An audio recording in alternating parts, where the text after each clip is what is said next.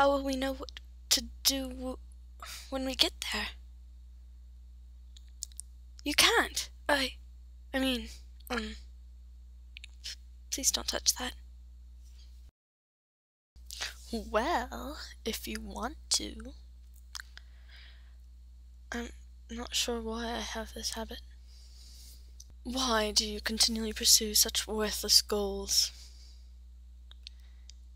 You cease to amuse me.